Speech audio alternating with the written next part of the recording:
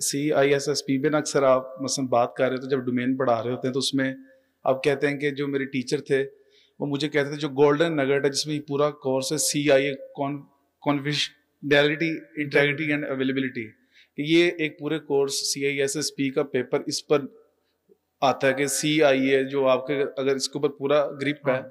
तो क्या हम डिवोर्स और ए आई को गोल्डन नगट कह सकते हैं मौजूदा सूरत हाल को जो क्राइसिस हुए हैं इकोनॉमिकल देखो there is no silver bullet that can be side के ये तुम्हारी सिल्वर बुलेट है ठीक है ना? कि तुम इसको लोगे और काम तुम्हारा हो जाएगा ठीक है ना?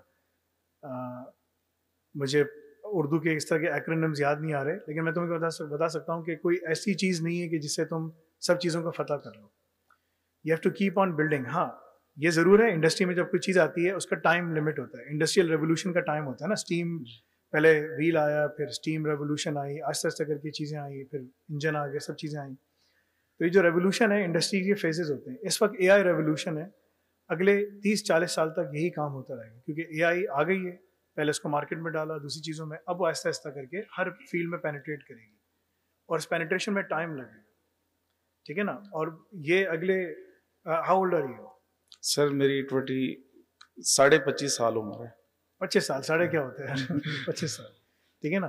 तो पच्चीस साल के हो। जी ठीक है ना? मैथमेटिकली तुम छब्बीस साल के हो क्योंकि तुम कट ऑफ़ कर दो ना उसको ठीक है? So depending on all of those things मैं तुमसे यही कहूँगा अगले तीस साल तक यही चीज़ें चलती रहेंगी। The crux is the same people will keep on infusing these things the same you to follow it so you are in the right spot just keep on moving forward with consistency that's the take away message for you